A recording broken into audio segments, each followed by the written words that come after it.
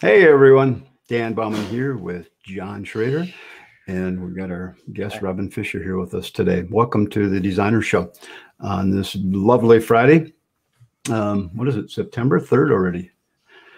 I don't know what time's going, um, but it's going by way too fast. I'm doing some remodeling on my house, and if, if it were July 1st, I'd be right on time. So, uh, anyway, so welcome. And uh, Robin, welcome to the show today. And Hi. it's wonderful to have you here and looking forward to your presentation today. You've got a lot of great information to share. Uh, John, how have you been? You've been, been keeping great. out of trouble? I've been great, staying out of trouble. Cool. That's a good thing. Gonna go down uh, to the state fair tomorrow. Oh, nice. Oh, that's right. You're gonna work the SIPS panel booth. Yep. Uh, what's that company? Um, EPS Energy Panel Structures. Okay. Well, if you guys are at the fair, stop out and see John yep. at this Minnesota State Fair. Um, Mike was saying here, he watched some of our videos from 11, 11 years ago. Thanks, Mike. Yeah, it, you know, it's amazing. It it changes, but it doesn't change that much. So uh, this will be a great show. Kitchens can get super detailed, even scary to a framer. Ha. I used to just focus on making the wall square and plumb and add a ton of in-wall blocking. Uh, in-wall blocking is kind of uh, important, isn't it? Yep. Yes. Yeah. And uh, imagine as your job as a designer is to point out a lot of that. Good morning from sunny Alaska. Big thanks in advance, Dance and Dan and John. Great template class. Cool. Um, appreciate that, Doug. And Mike's back again. Dan's tools and training are easy to cut my workload in half. I'm still only making 60%, maybe a green belt master in chief, but yeah, it just takes a little at a time and you'll get there. Yep. So awesome. Thanks for that, uh, that little testimony. It's always good to hear from people that are um, learning from the things that we're teaching. Uh, one of the reasons I wanted to ask Robin on, actually, there's a bunch of reasons. We've become really good friends and we're going to do some classes together, which I'll talk about in a minute. Uh, is but as much as I know about chief and construction, I've been doing this a long time. I've been worked with thousands of different clients, um, thousands of different types of plans. And John, I know you've done a lot of that yourself. Yep. I've never really done a lot of work on kitchen design. I mean, I can design a pretty good kitchen, mm-hmm. but when it comes to detail, um, all of the the thinking that goes into that, it's just like that isn't my bailiwick. That's just not what I do. Um, I, I, just I'm detail oriented, but not that detail detail oriented. That's your job, Robin. So I don't do framing. It's okay. there we go. So that makes us even. Uh, and I've, I've done just a little bit of all of that stuff, building the cabinets and designing them and framing and all that, just enough to be dangerous. So yeah, yeah, yeah. So let, let's get into it a little bit after I just do one quick little commercial, um, if you don't mind. So uh, again, for those of you on, on the call here today, um, welcome and be sure to stop by Chief Experts Academy, check out the classes. If you just head over to the store, you'll be able to see some of the different things that we have available. And, uh, you know, these courses that are listed up here are all have been done this year and they're all available for instant access right now. You can get all the recordings. Everything is available for you right now. So please check it out. Um, we got our templates. Uh, we did the mastering class, creating plans in Chief. So it was really a lot of fun. We, I think it was 30, 40 sessions altogether over the course of about six months. So it's a lot of information. Plus we have the Pro Academy, which again, we're working on and uh, we'll be announcing some information on that soon on some of the new things we got coming in the Pro Academy. So please check that out. If you're into the uh, show today, which you should have gotten an email uh, or in your email, if you were to click on the uh, link, where'd it go here? That says go to the live viewing page, which is maybe where you're at right now. But down here, you can get the free download for today's show. Um, Robin did a really nice job of putting together a bunch of information here about this uh, worksheet or this Kitchen Work Centers. So you go ahead and download that and um, you can go ahead and get that. Um, at below the form here, uh, when you click the download, uh, Robin and I are going to be doing a kitchen mastery design course starting in October. Uh, we're planning, so mark your calendar. Um, at this point, we're planning on starting on, let me open my calendar quick and I'll get the dates up. Um, we're starting on planning. Let me go here and I had it set up under this category on October 19th So it's going to be a six session. Uh, I'm sorry, it's going to be 12 sessions total, um, six six weeks in a row. So from August, October 19th through, I guess I didn't mark it all the way through, right up almost right before Thanksgiving. Actually, that might we might start the 12th. What did we decide, Robin? I don't even remember, but somewhere in there. The 12th or the 19th. Okay.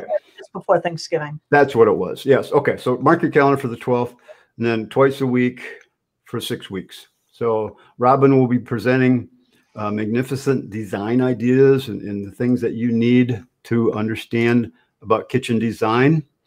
And then the next show, I'm going to show you how to draw it in chief. So, yeah. and we'll work together on that whole format there. I'm really excited about this. It's going to be a great show, uh, great uh, course that uh, we've been talking about pretty much all year now. Yeah. So this should be fun. So um, we're going to just share a ton of information about how to design kitchens. So check that out. It's not available yet. If you want to uh, be notified when it's available, um, below the form, click. Uh, you can also put your name and email there and hit submit, and we'll let you know when the registration is starting uh, is available for that course. So again, should be a lot of fun. I'm really looking forward to that. So that that the, the things that you teach, I'm going to learn a lot. So I'm really looking forward to that. All right. So Robin. Yes. Um, Hi. Let's get into it here. Any other questions, John, pop up here? Uh, I think we're good right now. If you if you guys have questions uh, as we're talking here, by all means, type them in. Uh, we'll get to them at some point throughout the uh, the session here. So, Robin, it's all yours. I'm going to let you just kind of let's talk work centers, Robin. Yeah. So, um, so the NKBA actually put out a thing and said that there's over 400 decisions that have to be made in creating a kitchen. I, I still think that's low. I think it is low too. There's a lot to be made about it. And it's crazy because the concept of good kitchen designing actually was discussed in length in this amazing book in um, 1919. This woman, uh, Christine Frederick, who we refer to as Mrs. Frederick, that's how she's referred to in the book. Um, she actually was working, talking with her husband, and her husband was essentially what we would refer to as a systems analyst, which didn't exist back then. And he and his friends had come over to the, the house and started talking about how they were helping manufacturers to be more efficient and she thought she kept thinking to herself well the reality is is we can make our houses more efficient. And she eventually coined the term of household engineering or like my mother used to refer to it as a domestic engineer. Um, but i think that kitchen designing although we had kind of an idea of it we really let it slip and didn't get down to the nitty gritties in design. Um, and I think that's wrong. I mean, we really need to think about the kitchen like um, I think who was saying who t- posted in here that he was a framer. Um, it was Mike. Yeah, Mike. You made this note that you're a framer. Well, you know, if you look at your truck, it is probably ridiculously organized. At least I'm I'm assuming it's ridiculously organized, right? Um, So you have your framing tools in one spot, and then you have other tools in another area, and then maybe you have your finished carpentry tools in another area. It's not all a jumbled mess like my husband's tools are, but he's a teacher. so it's a totally different concept here.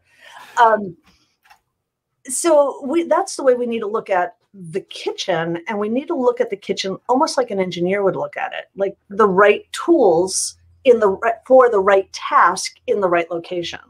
So this is why um, we started really thinking about um, kitchen designing and how we're using the space. So I did have I put together a, um, a, a presentation on this, and it's really about thinking. Dan, can you? Do I have to switch the screen? No, I'll do it here. Okay, you got it. Yeah. So this is where we really need to think about the kitchen is a room, but inside that room, a whole bunch of different tasks are happening, right? I mean, you're washing dishes, you're setting the table, you're putting groceries away, you're doing meal planning, you're there's so many different oh, tasks. Oh man, yeah. Watching TV, you're doing work, you're doing bills. I mean, every, every people spend most of their time in the kitchen these days, right?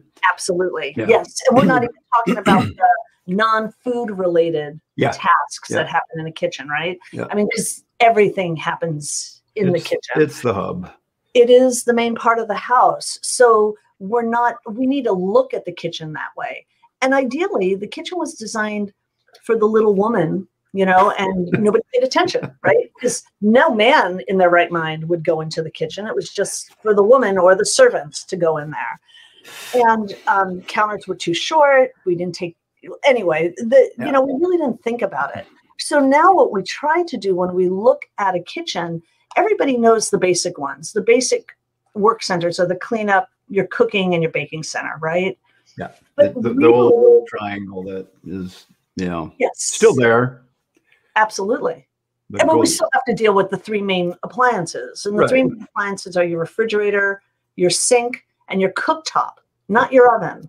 But now we have all of these different items in kitchens. You know, we have steam ovens and people use their instant pot. And, you know, there's so many different things in a kitchen. We have wine refrigerators, we have beverage refrigerators. There's so many things happening yeah. that we really need to look at. microwave drawers, microwave, uh, you know, refrigerator drawers. I mean, gosh, it just goes on and on and on, doesn't it? Yeah, yeah. there's so many appliances. I think that other than lighting, the most technology is coming out in appliances Yeah, and the type of appliances. So, and all of these appliances are not stand. All of these work centers that you're seeing here are not standalone appliance um, work centers. They they overlap, and many of them do dual dual du- duty. For in my in for exist for example, I'm not a baker. I mean, I bake bread, but I don't. I'm not a cookie baker or any of that kind of stuff. So my baking center and my beverage center kind of are the same. They share the same space, Yeah. right? Um, so, and I live in a really small house with a really small kitchen. So these things all blend. Um, Robin, So- when you when you work with a client on their kitchen design, do you spend a lot of time with them discussing their, you know, what is their cooking style? What what is their lifestyle like? Do they do they do a lot of cooking or do they eat out all the time? You know, that the do you go through those kind of questions with your clients? Absolutely. I think I've said it before is I, I have a lifestyle questionnaire that I send my clients prior to meeting with them. Uh, Okay. And it discusses really nothing aesthetic. It's really about physical limitations. Um, how long do you plan on living in your home? Who lives in the house? How do you grocery shop? Like, are you a bulk shopper? I'm not a bulk shopper, you know, um, but other people are, so they Yeah. need storage. Um, so it's really it's those kind of questions that we ask that have really nothing to do with the colors of your cabinets or the style of your kitchen Right. right because that's really secondary you know you have to create a kitchen that's functional how you dress it is secondary right? And let's be real about it. The how it looks is nowhere near as important as how it functions. Although good design makes it makes puts the two together in a really well cohesive fashion right? Um, so i discuss how I have that questionnaire sent out prior to me meeting with my client for my first meeting. So just so you ask, just for anybody who's asking about this, I do charge my clients for my initial meeting. I don't go there for free because I've collected information ahead of time. And when I walk into their home, I'm working for them. I'm Yeah. actually giving them ideas. Yep. And mm, you know, and then they ch- they hire me, and that's not doesn't come off their contract. That's they pay me for it, right? It's a, it's a sep- yeah, it's as it should be a separate service that you're providing, very valuable service that you're providing. In fact, Absolutely. one of the most valuable services you're going to get in the course of the project is that all of the planning and the preparation that goes into figuring out what the project should be. Absolutely. So, I mean, anybody that's been following me for a while knows I talk about that all the time. So, Charge um, for your time. You're worth it. You have knowledge. You're an expert. excellent, an expert. absolutely. And if you're not an and if you're not an expert yet, still charge for your time because you're going to have to figure it out. So you're going to have to spend the time to figure it out. Um, you know, maybe you won't come up with the answer as quickly as someone that's been doing it a while, but yeah, you still need to get compensated for the time and the research that you're going to put into someone's project. Absolutely. Absolutely. Can't stress that enough. Yep. Um, when I meet with a client after when I put together an initial design concept to a client, so let's let's assume we have the initial meeting. I have their questionnaires all filled out. Um, they say yes, we want to hire you. I go back and I do a site measure and you know site documentation, and then I put together an initial design concept. And I might have you know two or three different design ideas. Sometimes it's one, but sometimes it's more than that. And then I start when I am designing a kitchen. I am mentally putting away every single thing that they own. I'm mentally having a drawer or a rollout or um, an item, a Rev-A-Shelf item, or some kind of accessory that's going to go in the kitchen that is going to make their life easier. And here's the thing that I want you to be aware of is I do tell my clients right off the bat that my I am designing their kitchen to be incredibly functional.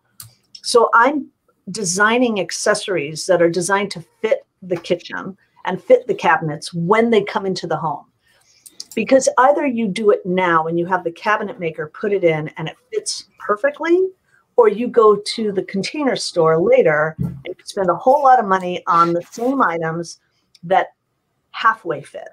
So you're talking about those 400 decisions or ideas or things? Yeah. 400 plus probably twice that much um, that go inside the cabinets. Absolutely. You know that to fit the lifestyle of your client so yeah, yeah. everything you know, so one of the things I love about Chief is that Chief has the Rev-A-Shelf catalog. Yeah. It, right. Yeah. But you physically need a catalog and you can go online and get the catalog for free. I don't work for Rev-A-Shelf. I need you to know that. I right. don't. Um, um, you just like their products, yeah. Yeah, yeah. Well, they're in the, they're in Chief's catalog, right? Yeah. And yep. I can actually put it in there in the specs. Yeah. So, um, Hey, so for you who mentioned you made the ch- question here about charging for my first visit. If I don't get the job, I don't return the money. That's that's my time. Yeah, because so, you already gave them you gave them a ton of ideas. Yep. Uh, at, yep. When you're mentioned visiting them. So. Right. Yeah. You know, by the time you go out, you've already qualified the client enough that Absolutely. they're pretty darn sure they're going to work with you. Um, I think um, they have returned the money one time. I had a real, you know, the PIA client. Um, just to get them to make them go away, I sent the money back. But normally they, I, I think I've returned it one time. Yeah. I think that's one of those things. It's a mindset. You, you make up your mind that you're a pro. You're going to get paid for your compensated for your time, and you learn how to how to sell that. Okay. Absolutely. You know, Absolutely. don't take the easy way out and say, "Yeah, I'll come out for free and do it," or never use the word free. It's always complimentary. If you say complimentary, then there's a a value associated with it. If you say free, there's no value associated with it. So watch your wording. Um, but yeah, I, I know a lot of people that charge straight up for all of their information. Yeah, you, you should and feel and feel confident with that. Really feel confident with it. Don't. Yeah. Um, so to get that catalog that Robin's talking about, go to revashelf.com. Now we're talking not we're not talking about the chief catalog. We're talking about the physical catalog that you can look, scroll through the pages and give your client. And what you told me is you actually, when you're with your client, you order a catalog for them. No, so that, no, no, no. I don't oh, order for them. You don't Okay. No, and if you do want the catalog, go all the way down to the bottom and, and go, go, to, contact us. Okay, what a then, strange place to put it. Um, it's a um, really stupid place. And yeah, and then you want to literature. Yeah, so to you. So and cool. and I recommend a physical one because there's a lot of information in it. And frankly, I do love Rev-A-Shelf. Their website's a pain to work through. So get a catalog. It'll make your life easier. Yeah. Um, and then, um, Robin, when yeah. it comes to when it comes to chief i'm assuming you could take the item number right out of the catalog and plug it into the search for chief and it'll go right to it. Yeah it does. Somewhat somewhat. It doesn't go in as easily as i'd like it to. So now i started pulling the ones that i use a lot and i put them into my user catalog under Rev-A-Shelf and i have my own little area oh. of it. Um oh you can't get a Rev Oh. Ontario. Okay. Oh man. Hopefully that's going to change soon. So sorry. Oh, I'm man. really sorry that you guys. I um, suppose so, if you have a friend in the U.S., you could yeah. order it in the U.S. and then someone could ship it to you just, in Canada. Just throw it over the go to the border and throw it over the border. well, we're allowed in now, so we're we are allowed into Canada. So okay. now, now Okay, so if you go, um, so what I do is after I've done a initial presentation for my client, then I created this PowerPoint that I I put it on my um, tablet and I show my clients, and I just threw this stuff together. So we end up talking about how do you like to store your knives? You know, do you want them in a drawer? Do you want them on a counter? Do you want them on a backsplash? Um, how do you want to store your cutlery? Dish storage. And I go through all of these different options for them because most of our clients don't understand that they don't realize, oh, this is an option for me. I could do something like this. You know, dish storage in a drawer is really fabulous, especially if you have um, physical limitations where reaching is high or you're not very strong and you don't want to bring things, you know, down. It's harder. Um, hmm, so, okay. you know, there's some options for it and things fit, they don't rattle around. So if you do the, um, the things in the drawers are great. It but, also gives you some other design options, doesn't it? Absolutely. Oh my gosh. And this is like my favorite under sink, sink storage. I mean, is your underneath the sink, is it just a nightmare underneath there? It's this is wonderful because you can see all of your cleaning supplies and you can find everything there. So it's great. Um, hey, um, T. Rick Stir, uh, could you give us the uh, give us the um, URL, the website for Century Products? I just tried googling it and I'm not coming up with anything. So if you let us know, that'd be great. Um, I love the big drawers under the kitchen sink where they yeah. put the drawer in at the floor and then raise the doors up a little bit. Yeah. Um, I like that. That's, a, I think, a really nice feature. We do that a lot in bathrooms. Definitely. Yeah lot in bathrooms. Anyway, I typically go through all of these different kinds of options and I discuss this with them and I show benefits and disadvantages of each one of them. You know, yeah. why I like something, why I don't like something. But what this does is it gets my clients thinking about opportunities for their home. How can I make their kitchen function? Um, yeah, yeah. Never thought of dishes in a drawer. Works great yeah. again. Yeah so mike one of the things that happened to me i designed um, the floor plan of a house for a client of mine who um, poor guy he got up one night in the middle of the night to get ice cream slipped down the wood stairs and became a paraplegic really horrific I had designed his house here in Portland. We've done his kitchen and all these other rooms in his house in Portland, and then they moved, and um, I helped design their house. Well, we chat a lot, and um, we designed the house very clearly designed so that way it's most functional for him. Like, you know, how many steps does he have to do? Like, to be able to go to the bathroom at night, where is the toilet in relationship to where he sleeps in bed? So how he doesn't have to walk around a million different things to get to the bathroom in the middle of the night. Mm-hmm. Um, anyway, we we designed it. Anyway, she just had her hip replaced, and she called me and said, "I can't believe how wonderful my kitchen is." Like it is so easy for me to function and i'm you know limited right now. I mean she's going to be fine but she's still recovering so she's suffering right now. Yeah. Anyway we design all of this um, really spend a lot of time going through all of these um, plans and talk about different opportunities for clients. So um, and by showing them this kind of a thing i um, it gives them opportunities to really be able to see what what options are out there. Yeah. This is actually my kitchen, and you are right now seeing my entire kitchen. Like it's the smallest. I live in a really small little house. Um, we downsized from our farmhouse, and it's a small place, and our kitchen is really small. But look, everything, everything has a place.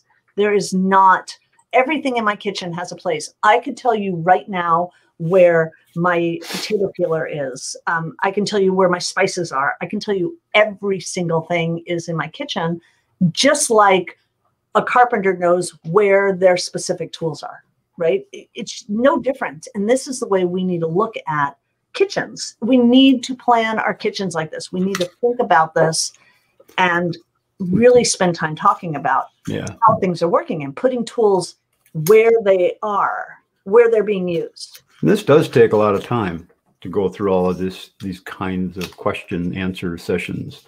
Yeah. Uh, so again, be aware of that as you're designing, you know, well, anything, but especially in these kind of rooms, kitchens, bathrooms, ton of decisions. Absolutely. So, yeah. And but that's why we're the professional, right? That's why we are the professional and they're coming and they're asking for our services, yeah, our help. Yeah, the chalkboard's a lot of fun. I've had one in my house. I, I love that. I can put my menu on the board. Yeah. It's actually, there's the thing I do want to show you this though. Don't ever do this. So I live in a snout house. For those of you who don't know what it is, those are those ugly houses where the garage is way in front of the. Oh, okay. Never so, heard it called a snout house, but that makes sense. yeah, they're really ugly. Um, but it's functional and it works. Anyway, my powder room is right off of the kitchen. It is literally right off of the kitchen. Um, and I didn't want to. We were trying to do a, an inexpensive renovation, so I didn't want to open up the wall and put in a pocket door. So I put in a barn door. Really, honestly, never, never, never put a barn door on a toilet room. What a so I have, I have a fan. I have a really noisy fan in there, and I tell people turn the fan on because otherwise we'll hear everything. okay, that makes sense. Yeah. There's your takeaway for the day. Never do that. Anyway, when we design, when I'm designing a space, and I'll just show you kind of, I'm, I'm going to go to one that's a little bit different. This is the baking center. And when you're looking at the baking center, um, this woman was amazing. She's serious baker, crazy baker. And we had planned every single item in her kitchen, like everything, where every single thing went. Um, what are your advantages of a rollout tray and base cabinets or just drawers? Okay, so here's the disadvantage. When you're buying a rollout tray, you're buying a door and a rollout, right? You're buying a door and a drawer. You're spending more money. It's less expensive to buy drawers than it is to buy doors and a rollout. And it's two steps. So your client is opening up the door and then pulling something out, right? I do love rollouts for things like pantries, like up here. Those are rollouts. Fine. Um, you go there, you're spending some time, you're looking at items, you're looking at what's going on in there. That's fine. But for pots and pans, a drawer. Open the drawer up, look inside, get what you need, and you can close it. And if you're a fast cook, a lot of people are using like their hips yeah. to close things. And you can do it in one. And if you're getting the full extension uh, rollers, bam, now you get access to everything. Uh, everything. And yeah. if you're working with, um, I work with, I live in Portland, Oregon, so we don't have, we have a lot of custom cabinet shops that, you know, high end and low end, right? But I can define the depth of my drawers. So I will make my drawers specific depths and change things around to make things fit. And it works really well. Yeah. Um, and I think most cabinet manufacturers nowadays give you some opportunities of different depth of drawers. These are just standard right here. There's nothing fancy to those. They're all the same. Um, but I really plan on how everything is being used. And then if you notice, then this this program was this um, this this um, project was done with X12. So the um, my schedule is not as detailed as they are now. Now that X13 really lets you make your schedule so much easier to use, I have become a schedule freak. Um, but everything is right here. So, and I only keep when I'm using Chief, I only keep on the layout page the part of the schedule that actually relates to the elevation. So it makes it really easy for my cabinet shop to order all the accessories. Yeah, you're a big user of the schedules in your kitchens because um, oh, you put you put all your information in on the schedule, which that makes perfect sense. You got to put it somewhere, so why not put it right in the plan, right in the item? So when right. you print well, that schedule, yeah. Yeah, and it makes it really easy for the cabinet shop to order. But then I copy that onto, I copy all those schedules in mass on a um, eight and a half by 11. So the cat contractor has an easier thing to have at their desk. Yeah. So the schedules are then on eight and a half by 11 too. Yeah. So we will we'll spend a bunch of times on schedules in our class uh, because they are so powerful in Chief now. They've done a really nice job with their schedules in Chief. John, are you using schedules much in your plans? Yep. Yep. Oh, yeah. Okay, cool. Yeah. I mean, it's just. Oh, and you can come. customize them now and you can oh, make them exactly yeah. you want. Oh my God, I love it. It yeah, makes and you, it. And you can yeah. put different things on different schedules. It's just, yeah, really nice. Oh, yeah. Yeah. You can put, uh, it's crazy. Like you can have your refrigerator in three different schedules in your electrical schedule and appliance schedule and on your cabinet schedule exactly. which is where it all needs to go right? It needs to be yep. on all of those items. Yeah. Anyway so it's then looking at each work center based on the tools and then having conversations with your clients about where everything is going to go. And a lot of times they don't they don't get it um, but you really have to look at it like an engineer you this is where we're the professional right? And sometimes you just have to say trust me on this. It's going to change your life. It's going to change your life. You're going to walk into your kitchen and it's going to be more efficient. And who doesn't want that? And this is great for people who love to cook. They get it. But for people who hate to cook oh my gosh it makes their life a whole lot easier that they'll actually go I was, I was, I was telling you a story yesterday about a client we met with this week and we're working on their plans. Uh, I'm working with a contractor to help them with some plans on a project and and old house, beautiful old house with small rooms. And in the master bedroom, they want to do a new master bath, and the designer um, put in a single bath, a single sink because that's based on what she laid out. That's all that we could do. And then we were in the meeting, and she was there, and we got talking, and and uh, and he said, I, one of the owners says, I've been dreaming of having dual sinks in our bathroom. And, and, uh, as a designer, we put our heads together and say, well, here's how we can do it. We'll move this, do this, do this. Now we get double sinks. He almost started, he almost started crying. He was so happy. yeah. It's fabulous. Yeah, it is. So, and like just to, just to do that, you know, on, you know, bam, right there with them, it was really fun it's you know my favorite part is is when i get phone calls years later from people just saying i can't tell you how much i love my kitchen yeah. or the clients move into another house and they're like oh my god i have to remodel this kitchen. It's horrible. It's nothing like our old house. Mm-hmm. and and they get it. They totally get why a space is more functional. This is what i do all day long. I do kitchens and bathrooms. I don't do framing plans. I don't do additions. I mean yeah. i can and you know, I mean, like I'm smart enough. I could I could do it. I, I've been around long enough that I know the basic information of it, but you know, I don't do it. I give that information to my building designer and I say, here, this is what I need. I focus here, and then I can put all my energy into this and really create something that's functional and beautiful.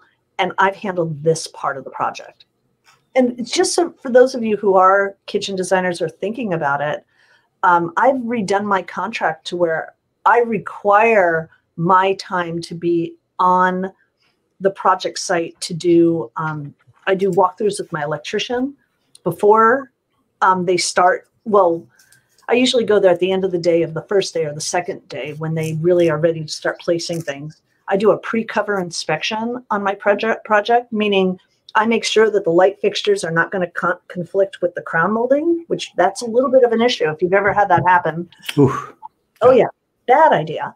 Um, I meet with my cabinet makers. I do all the meetings with the ca- cabinet makers and with the tile setters. And my contractors just go, "Oh my gosh, this is one thing I don't deal with."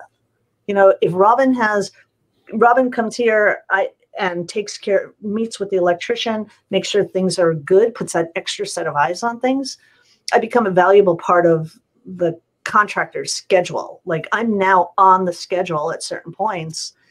And the contractors just know that it's going to be done right. You know, it's just that extra set of eyes. Yeah.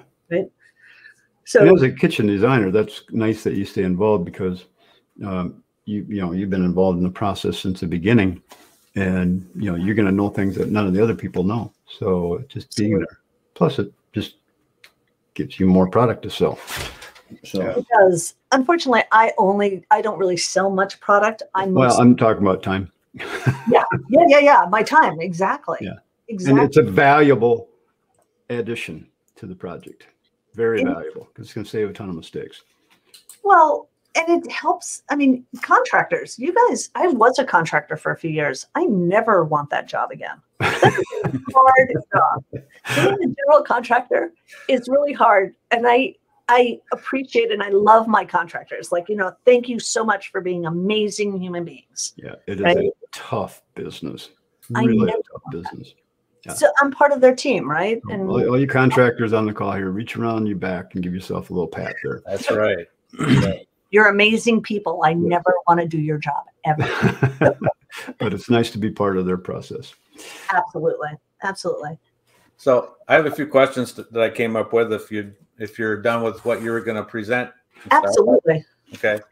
I'm wondering about uh, you mentioned like with the aging in place and handicap and stuff, other ergonomic things that you consider. Like in in our kitchen, we made our our main countertop 38 inches tall because I hate reaching down into the bottom of the sink and doing dishes. Absolutely. You well, know? like that was that was the first thing I was going to say is how tall are you? How tall are you? You know, I did a house for uh, two guys who were both over six feet. We did our counters at 39 inches, mm-hmm. right? And you, for those of you who have never done that, you don't have to order custom cabinets. You just order your cabinets without toe kicks, and then you build your custom toe kick right? So you can raise it up and have and have it taller and not cost an excessive amount of money. I mean, it still costs more for the contractor, but it's yeah. not um, a crazy expense. And if you have a slide in range or something like that, you're going to have to build that up too. Yeah. You know, if it's in that same countertop. So there's issues to do that. But for us, it really worked good. Absolutely. But that's so what even, but for somebody who's tall, for somebody who's really tall, then I might say it would be ways to maybe a, a separate oven and a cooktop, you know, right. and yeah. that that's definitely an option to consider. Yeah. Yeah. So, so um, let me address this for a second. Mary says, I keep saying there's got to be a better way to earn a living. Mary, you're she's a contractor, I believe, um, in uh, Kansas, uh, and um, that's why you need to charge for your design services so you can spend the time doing really good plans to make your contracting life a little bit easier. Because if you have good plans, you'll have fewer mistakes. All right. So there right. you go. So, Carl, when you talked about raising your counters and then putting in a deeper sink, that's um, you didn't finish your comment there, but you know, those that was enough for now. oh, okay. When those when those 12 inch deep sinks came out, they're really only good for a short period of clientele. You have to be over um, you can't be too tall and can't be too short. Five eight to like six feet. Oh, you don't do dishes. Oh, well, that we can fix, Carl. Aren't you glad you showed up, Carl? we'll send a note your all you need is your wife's phone number. We'll help you with that one. um, you know, you do need to pay attention. Like those really deep sinks, those 12 inch deep sinks, those are um, not really good for really tall people because then you're bending down too much to get down in there. And then they're horrible for short people. I'm five five and I can't a 12 inch deep sink is I mean I'm I'm like doing this to get into Oh, the sink, deep, they're uh, really bad. You have we, to pay. We did a deep sink, and we love our deep sink. So, so that's a that's an ergonomic question. Inches, yeah. Is it twelve inches deep or is it ten inches deep? That's probably ten, but yeah. it's deep, but it's probably ten. So yeah, yeah no, no. you're right. Twelve inches would probably be too much. It's it's only good for I've determined it's only good for five, like five, ten to maybe six feet, but it really depends upon if your body's really long or if your legs, your if you have really long body and arms, you know, it depends. You, then you have to look at your client. You have to look at your client. And that's the thing that people don't get. You have to pay attention to your client. Yeah. Um, I'm the same way in reverse gives me tools to understand. Awesome kitchen. Yeah. Yeah. Well, see, Rick, I think you're really smart. Do yeah. what you do really well and hire a, a, especially, and I'm a certified master of kitchen and bath design. Um, and you know, this is all I do. I, but I'm not a GC and I'm not a carpenter and I'm not, yeah. you know, and I, I try never to say to my clients, oh, that's easy because I can't do it. You know, so, like, so Mike, you, you realize contractor licensing now in, includes having to be a psychologist. Although no, that never mind. You just do that by by default anyway, so you don't have to be licensed for it. But yeah, it, you, you, know, you become a marriage counselor, uh, you know, babysitter. Boy, you got all these things that you end up doing. So that that's part of what makes contracting difficult. Yeah. Um, so yeah, learn human nature. It helps. Um, as you charge, yep, respect your knowledge. Don't Dan hit the nail figuratively. Yeah, bam. Um, oh, I do charge. It's the human emotions that we GCs have to deal with. There we go. We are just talking about that. Yep. yep. Yeah. And some people are wonderful. They get it. They're easy to work with. And some people just melt into a pile of, blah, and uh, that takes the fun out of it or any kind of joy out of it. And it doesn't matter um, how much you prep them and say, but see, for the GCs, if you have a really good designer, then you can I mean, I feel like I deal with a lot more yeah. of the emotional stuff with the clients than yep. the contractor does. And and again, back to charging for designs. If you charge for design, your design services, and you go through the process of working with a client through that design process, and you get to the point where you're ready to start doing the proposal for the contracting, and this client has just been horrible to work with. They sucked. They've sucked the life out of you you kind of all of a sudden just become really too busy to be able to handle their job. Absolutely. So so you don't get sucked into the whole project. You've only have given up a little bit of your time and you've gotten paid for it to do the design. Yeah. That's and that's actually what I do. So I work with I have four different contractors that I work with. One of them is the one who does like the vast majority of my jobs. Um, but I can determine the right contractor for the right client based on personality. And I tell my clients that I'm giving you, I'm not giving you three names because I would never do that to my contractors. I would never have them bid against each other. Mm-hmm. Never have my contractors bid against each other. That's mm-hmm. so rude and so disrespectful. I cannot even tell you. again, you know, if you're building a, a level of trust with your client, so when, when you come when it comes to budget as a designer, they know that you're going to look out for their best interest when it comes to their budget. So you're not going to recommend the thousand dollar sink. You're going to recommend the two hundred dollar sink, exactly. and let them know the difference. And so, whereas a contractor that's a little bit more difficult to overcome sometimes because the client, if you don't have that trust level, the client might think you're going to take advantage of them and overcharge them for things because that's what contractors do, right? Um, so Absolutely. having that budget think, in mind. Oh, I don't know if I yeah. froze or. Uh, a little bit, yeah. You're okay now. Okay. Yeah. Oh, good. So anyway, okay. uh, um, so so again, approaching the contracting world as two sales cycles: the design process and the contracting process. Approach them a little bit separate. So if you kind of remove that contracting part of it in the design process, I think the client will open up to most people contractors a lot better. Um, at least that was my experience back when I was contracting and I was charging for my design services. Well, and for the contractors who aren't aware of, who don't really work with the designer very much, realize that the designer can help to increase your bottom line. Yeah. Um, absolutely. You know, turn good for you. Hey, Nina, way to go. Yeah. Nina that in is, Alaska. I saw it because I said no. So much better that you didn't take that job? Now you can just go fishing, Nina. There you go. Which is what she does for a living half the year anyway. So yeah. when I changed my company's name to Rexford Design Build to Rexford Design Service, ah, there you go. Yeah. Um, I will add an undisclosed aggravation fee proposal when working with difficult client. Yeah. You know, one of the things I learned back way back in the day from Walt Stoppelwerth is uh, one in 10 clients are not going to let you make a profit. Okay, mm-hmm. it's just it's just a rule of thumb in construction. So the eh, the goal is to if you're going to get that one in ten anyway, which is you know make sure they don't suck as much life out of you. and again, going through the design process, you can maybe recognize that earlier. Um, yes. How do you deal with a client after they sign the contract with deposit, all of a sudden want to buy their own handles, sinks, and so on? So this one's easy. So handles, you know, if they want to buy that, I mean, if they want to nickel and dime that to death, I don't give it. I really don't care. I mean, I will tell them it's easier if the cabinet maker is ordering them. I don't even get involved in them.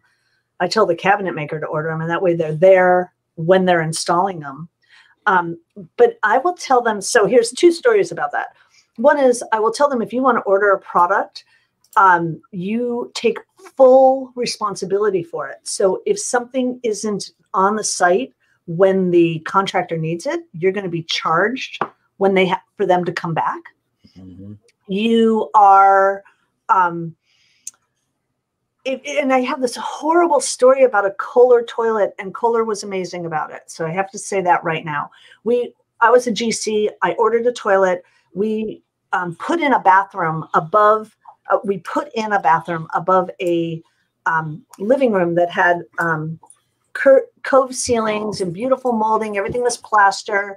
And the bathroom was right above the grand piano, this beautiful grand piano.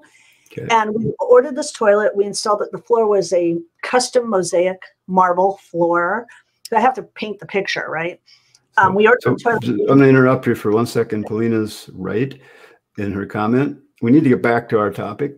Finish oh, what you're talking about, and let's get back to that topic. Oh, thanks for the thanks for the. I, I, I knew we were getting a little off topic here, so thanks for bringing okay. us back, Paulina. Anyway, I tell them horror stories. Like this toilet was bad. It failed. We inspected it. It failed and it damaged everything, including the piano. Um, if they had supplied it, they would have had to been responsible for everything. So yeah. I tell them horror stories, um, and that's what I do. Yeah, there's so, always going to be some projects where you, the client's going to want to get material, and in, in this world, that's fine. Just have yeah. to be prepared for that. But yeah, um, exactly. You just know how to do that. So, so let's talk a little bit more about bring, this. Bring up too, Robin. You mentioned you don't care if they buy handles, but I'm, I, I assume you want to know what they're buying. Oh, I specified it, right? Yeah. Okay. Yeah. So in, you specified it. They're not picking out some random thing. That something's horrible. That's going to be horrible, or they're going to catch their clothes on all the time and that kind of stuff and ruin. Absolutely. So absolutely. So Robin, let's run through this handout quick. We got a 15 minutes left, sure. um, and uh, so let's get back to this. So uh, we had a little handout here. We've got 10 different work centers that we've discussed, and you know, cleanup, food prep, cooking, baking, snack, beverage, breakfast message pet food storage social entertaining and if you guys have other work centers let us know. Um, we'll be love to talk about them so um, and that's part of the reason for this handout is so you get this information and you know we're sharing some other information that might help you in your sales process. So let's you know the cleanup center let's hit the robin go ahead and hit the, the high points there. Yeah so think about all the items that go in dishwasher right? So the cleanup center it needs to be close to the eating area of the house right? Because this is where dishes, clean dishes are going to go to the table and they're going dirty dishes are going to come back to the sink, right? So what's in this area? Things like your dishes, your cutlery, your um, uh, glassware, your napkins and placemats, those kind of items are going to be there. Things like your recycling and trash, your compost bin is going to be in this location. Think about things when you're taking dirty dishes back to the kitchen what are you going to do with the food? You have to have, you know, Tupperware containers, foils, and wraps. All of those kind of items need to be in this area. So if you're looking at that little picture up at the top, you can see that the dishwasher is in a location that the client is opening that dishwasher and everything is going into that tall pantry right away from right over there. Everything's going right into that item. There's drawers down below. This kitchen is actually being installed next week you can see the drawers down below. And then just to the left is the breakfast nook, which is where they eat all the time, right? So the best part about designing like this is somebody can be washing the dishes, somebody can be setting the table and not in the way of the main cook. So think about, you know, you're trying to get food on the table. Everybody is, you know, you don't the cook does not need anybody in their way yeah. while they're cooking, while they're preparing food I need you to set the table. I'm over here working. Yeah. So what it does is it becomes we're creating secondary work triangles in the kitchen, right? Yeah. So this so, is one little space. I guess I've always approach the cleanup center as also the put away center. Because mm-hmm. if you're going to wash things in a dishwasher and you're doing all this cleaning, you don't want to walk across the room to put your dishes away oh, from the dishwasher. Um, exactly. I mean, you can, but it's kind of a pain. And I've, I've seen kitchens with dual dishwashers. Why not? Yeah. Okay, let's food prep. So food prep is taking things out of um, getting things ready. So this is where you have a conversation with a client. Do you want people watching you cook? Right. So I've had clients who say, "Oh, well, for me, like I want to be on stage." So my food prep area is an area that people can watch me cook. They can see what I'm doing. Yeah, kind of like walking into a you know a restaurant where all the cooks are open and you know you can see the kitchen and everything yeah. Exactly other people want to be off by their side. But yeah. what's here? Spices mixing bowls um, close to the sink close to the refrigerator. Um, your knives are here your salad spinners in this location. Small appliances are in this area. So it's really and this is like breaking down the basic work centers into smaller sections. So we really need to break the not just the big three, the cooks, the cleanup center, the cooking center, and the baking Mm-hmm. center, is really breaking them down even farther You know, so that what's- they were more efficient. you know what's really weird is I like doing dishes. So for me, it's kind of a relaxation center too. So when, whenever we would have a big group over and people are doing stuff all over and it's like the kids are going nuts and everything, oh, hell, I'll do the dishes and I get a break. It worked. yeah. Anyway, uh, kind of silly, but uh, that's just who I am. Cooking center. yeah. So this is, I think, actually, that image is that image is in, in the wrong location. oh So, no. Baking Yep, center. you're right. Yep. Yep. It's Okay. Um, but the baking center, you might it might be flipped. So go down a little bit further. So the cooking center then, and maybe Oh yeah, it's probably supposed to be down here. It might have moved on the page. Yeah. Okay. So the cooking area needs to be close to a sink, needs to be close because you have to wash your hands all the time. Needs And that's why you might have two sinks, or you might have a pot filler, or something like that. exactly, Okay. exactly, and ample countertops. So have enough space next to your refrigerator to take things out of and set them down, or when you're bringing groceries into the house, big enough space next to the refrigerator to put a grocery bag so you can put things away. So we need to look at the kitchen two ways. You know, you're looking at it in prepping food, but you also need to talk about the kitchen based on bringing food into the home. Yeah. So the refrigerator needs to be located in an area that's closer to when you're bringing the groceries in. You know, the pantry, bringing groceries in, less steps. So we're trying to be as efficient as possible in everything we're doing. For people who bake, this is where if you're not a baker, if because I'm not a baker, so I don't think about it all. But man, I have worked for some people who do amazing baking, and you have to know all their parts and pieces. Like, do do they have cookie cutters? I mean, candy making things. There's so much that goes into the baking center. So you need to actually open up their cabinets and look and see what they own.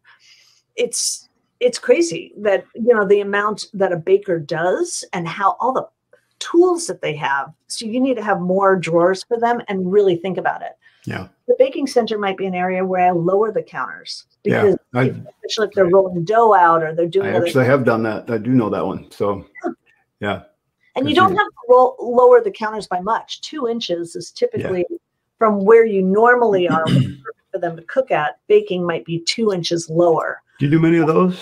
I do a of lot of those. Do you? A lot of these. Yeah. For people that bake a lot, I could see where that'd be really nice. Just Well- pop it up, do your thing, put it away. They're not good for small kitchens, but if they have Right. room, people love it. Yeah. Yeah. Yeah. You got your snack and beverage center.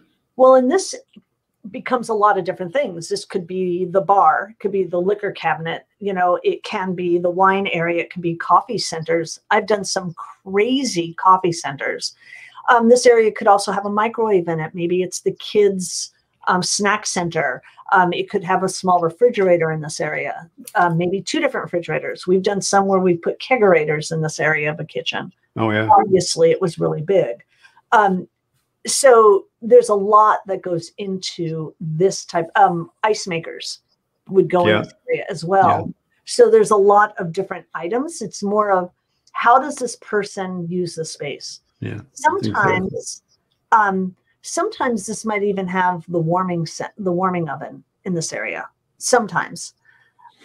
Um, Rick's asking how did a center might become too busy? you have to think about it who's going to be using it at the same time as somebody else is using another center so um, this is why they they kind of start blending and you have to be careful because they Yeah. just start blending um, you really have to think about if the main cook is working in the kitchen and somebody's being the sous chef so when i'm designing i will actually do different work triangles and see if we're sharing a line you know sharing one edge of a work triangle or if we're over Well, yeah, you might have single cook families, dual cook families, or the whole family cooks together, you know, with the kids and everything. So, yeah, that makes a big difference. I mean, on how the thing is laid out. Yes, absolutely. And yeah, I caught myself mid design and made appropriate corrections. Uh, yeah, that's my favorite part about Zoom is I could be designing and going, oh my goodness, I have a better idea. And I can call my clients and say, you have 15 minutes. I want to show you a new direction. Yeah, They don't like what I did, you know? yeah, Yeah, yeah absolutely. Just yeah, I, I, think clients really enjoy that. They do. like like that straight up honesty. Boom, we got a better idea. Yes. Well, there's so many. There's so many things in here, and there's so much to know. And if you are really getting into designing, kitchen designing, you need to know about appliances. You need to know what type of appliances are out there, um, opportunities for clients, because I clients don't know all the things out there. It's crazy. And you know, things like I'm a big fan of steam ovens, which are expensive, really expensive. They're like five thousand dollars, right? And the two that I like are Wolf and Thermador, and I don't get paid by them, so this is not a paid comment here. Um, I like the size of them. I think they're great. I have one. It has changed my life. So when I talk to people who are really big on um, cooking really healthy or you know other things, I will say this is an appliance that's really expensive, but let me tell you why I recommend it. And then I'll go through and they will find the money your clients will find the money. If they want something bad enough they'll yeah. find the money. Yeah. so just recommend you know they're digging through the couch in a big way. Uh. well our job is to educate them. Yeah. Half the time clients come to you with a budget. They say this is how much i want to spend. And when you introduce something to them it's like you've told me enough about your life and how you live. Here's something that i recommend and it is expensive. Here's the budget on it but when they go check it out and they find out about it, they go, oh, that's actually a good idea. Yeah. Like, I want that. Mm-hmm. And this one's this one is something that's really big now message centers and homework centers you know i i don't know about you but i've had three kids and none of them ever did homework in their bedroom they right. all did it at the kitchen table right so well, I have four kids, and when I could get some of my kids to do their homework. well, that's good. Yeah. Okay. Yeah. I'm, not, I'm, not, bragging. Uh, okay. Okay. um, you know, you really need a plan for that, and think about where things are going to go, um, so it's not a mess. You know, having an area. I think there's an image back up a little bit ways um, where, yeah, right here, this image. You can see that little space where the phone is um, um, on the back of the island, right there, the the top picture on the right hand side. There's like these little cubbies. Oh, right here. Yeah. Actually designed because they yeah. they both said that we keep so much junk on our counters. They want a place that they can scoop everything off and put it away when their guests show up. That's so we created this little open space. So they just shove it in there and nobody sees it and it's really nice. Yeah. And some of those decisions you can get now, you can have the the, the phone chargers that are under the counter you know, having your outlets in certain places to plug certain things in, you know, just oh my gosh. so yeah. many little things. Yeah. Yes. So cool. Yes. Um, pet center. This one's fun. Yeah, yeah, this is really fun. So these these things is this is where you can get crazy with it, depending on the size of your house. This this pull out um, door that we created for yeah. the client, they had dogs that would bother them when they were eating. So we put begging. Um, yeah, they call that.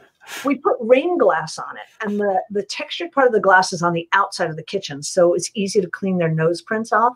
But we covered the top with stainless steel, so when they put their claws up, they didn't oh. damage the mahogany.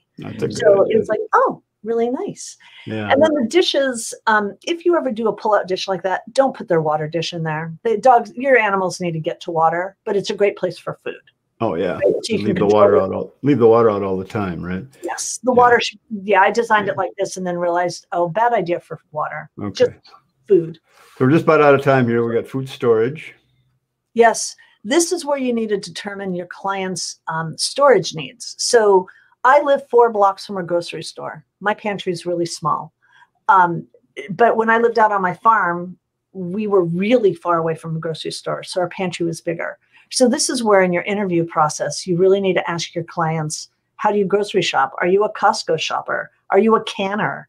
People who can, people who um, buy in bulk need a much bigger pantry yeah. than like what I have in my home. Yeah. So that's really discussing it. And maybe this is also where they keep secondary um, smaller appliances that they don't use that often. Maybe this is also where they're keeping um, like their Christmas dishes, their extra dishes that they own, yeah. um, serving platters, those kind of things.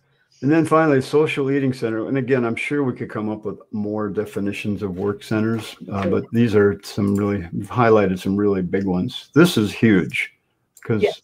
that is a kitchen is the social center of a house now. It's the hub and social center. But do you really need, and this is a question to ask your clients, do you really need three eating areas? A brec, um, you know, an eating bar, a breakfast nook, and a dining room. Right. So some people don't need that, but maybe right. what they want are two really comfortable chairs, like upholstered chairs, so that your friends can sit and chat with you. Um, my husband doesn't cook. I, I mean, he does cook, but I do all the cooking because I enjoy it. I, but I want him to sit and have his drink when he comes home from work and sit there and talk to me. I don't want him in the living room where I have to shout at him, you know, to be able to talk to him. I want to be able to talk to him right? So we have a nice comfy chair that he yeah. can sit in and talk to me. And I have a tiny kitchen. So it's just one chair. It's just yeah. for him. So. And then determine how how you want your heights of your eating bar. You know, do you yeah. want it at one level? Do you want it lowered? Um, do you want it raised? Um, if you're working with older clients, a raised eating bar is not necessarily the best place to be. Right. You know? So a couple other things. If you scroll down, um, there's three links here. So Chief Architect has done a nice job of posting some articles about this topic um, where they demonstrate, they have some drawings and some of their ideas. So click those links and you'll get some more information. Really nice job by Chief Architect. So kudos to them. And again, coming soon, our kitchen design mastery with Chief Architect. So uh, below that where you can download this, uh, you know, if you're interested, please leave your name and we'll let you know when the course is getting uh, is available to sign up for. Uh, again, we're really looking forward to bringing uh, you a really fun and cool and informative kitchen design series uh, with Chief Architect and, and just in general, because you're going to share a lot of information about NKBA and all the different rules and the things that, you know, all the things that go into designing a kitchen and so, lighting design for kitchens. Well, you talk a lot about lighting design. It's like my eyes kind of go, you know, glass glare eyed when you start talking about that. It's just like, it's, yeah, okay. it's really a big deal. So it is a big deal. When you go into a building that's lit, that's lit well, you can tell someone put a lot of thought into it. Absolutely. And, and lighting to me is like landscaping. I hate landscaping. I hate lighting. I mean, it's just I just don't do it because I've not never been educated at it. And it's just never really interested me. So that's why we hire people like you. So. Rick, you do have to design a junk drawer. I always think about it, but there always ends up being a junk drawer. You have to catch all drawer. Yeah, yeah, and a key drop. That's another. You should only have one. You should not have 10 to 12 of them. and sometimes a key drop can be part of a kitchen too, where you, you get home from work and you just drop all your stuff right there or, or you know, that those kinds of things. But that's typically more in a mudroom. But anyway, yeah. awesome. Uh, we're over time, but Robin, this has been really cool. Thank, Thank you. you. Thank uh, you. Always my pleasure. Yeah. And uh, again, really looking forward to working with you on this, on the course uh, coming up soon. So it'll be a John, lot. Don, you got anything you want to add? I got a whole nother hour's worth of questions, but I'm not going to. oh, can't do that. Um, we got to. We're already over. So, you guys, thanks for being here today. We really appreciate it. We'll see you in a couple more weeks. Uh, Robin's going to present some more awesome information that we've been discussing, and uh, we'll see you guys soon. Have a great uh, weekend and have a great Labor Day coming up. So, Thank see you, everybody. Have fun. Have a good weekend. All right. Bye-bye. Bye.